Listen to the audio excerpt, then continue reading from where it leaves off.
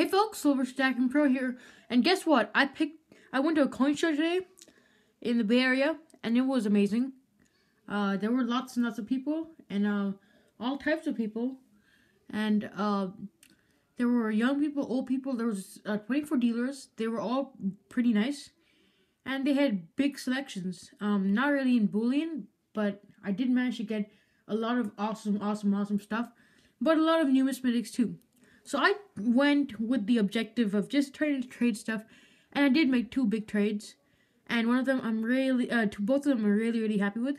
So to start off, I had an MS64 Walker, and you guys know that, the old green holder from PCGS. Well, I upgraded that to an MS65 for for um two rounds of two one ounce rounds and eight dollars. And this actually I, I bought this because it's a luster bomb. So that's the Walker. It's a 1947 uh, D, and you can see the luster. You can see all that beauty with the coin. And then the reverse is actually like perfect, I'd say. The the uh the obverse is probably MS64. This is probably MS66 plus or MS67 of reverse and it's just amazing. And I like the fact that it's uh, PCGS. I like the more than the NGC in at least all coins. Um, I like the clear holder, and it's my opinion. But I I saw some really really really nice medals from the 1800s, but and they were like totally popping out. But I just couldn't pay that money. I don't know why. It was like um, hundred bucks for like a 2.9 ounce uh, medal. And you want to see some last glances? That's a coin. Next, I took my sovereign there and I got a beautiful trade with it. Basically, what he did was spot on the sovereign was two ninety five, and he gave me two hundred ninety five dollars worth of silver. Uh, the silver spot price was fifteen fifty six, so that uh, two hundred ninety five dollars got exactly nineteen ounces. So he gave me nineteen ounces of silver and I guess he just uh he just had miscellaneous stuff. So I mean, uh, he gave me some eagles too. I'll show you that later uh, after this. But um, first for the first ten ounces, he gave me my first one of these.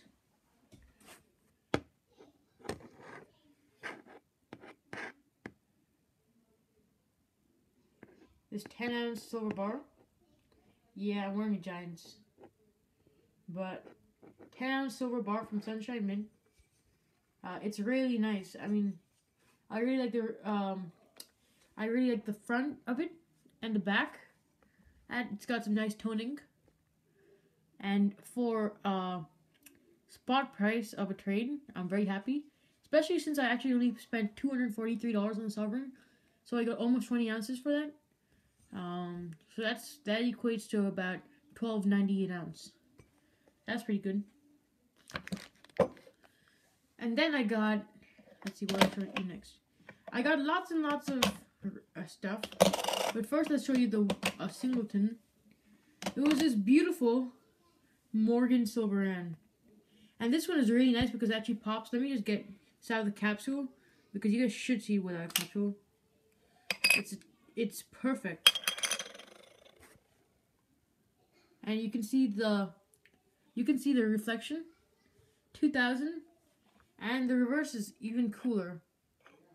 It's a Republic of Liberia, Liberia, but I think I'm trying to say uh, it's one dollar Republic of Liberia, which is actually a country, but I think Liberia also means freedom. So, Republic of Freedom. I'll do some more research. 2000. This seems like a pre-Norfed. This is like probably before Norfed. That was the idea, and I think they succeeded because look at that round and it's one ounce. I got this as, along with the others for in the spot price deal. Next, I got this 1999 Eagle colorized, and you know for spot I'm fine with this. I'm happy. Uh, it's got a small, it's, it's got a milk spot under the off. Otherwise, I'm pretty happy with this, given it's for spot.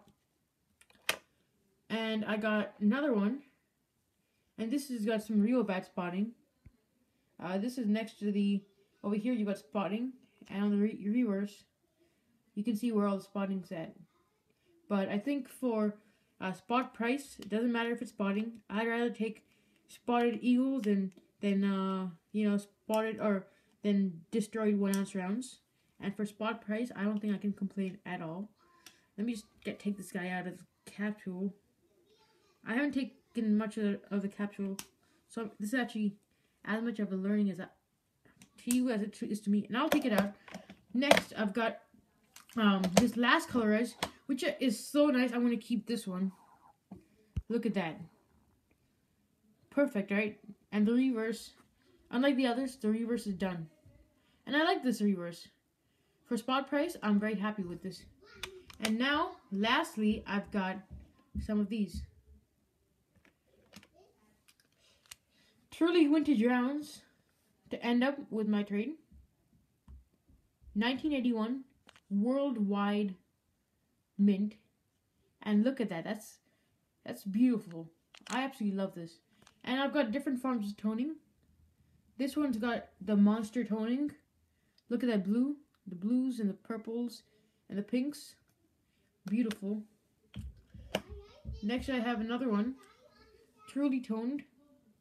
And this one's nice. Again, the same one. I believe this is a 1981. Yeah, 1981. Uh, one troy ounce fine silver. And it doesn't actually give the year in this one. The other one it does. So, leads me to believe that we have a different round here. Or actually, we do. Yeah, they're both the same. Yeah, yeah, they're they're they're both the same. So this is 1981 too. This has got some toning, but this is actually a very nice reverse. Um, we've got another one of these. Less toning. And the last one. So, for a sovereign, I got a heavy, my first bar of, of this weight.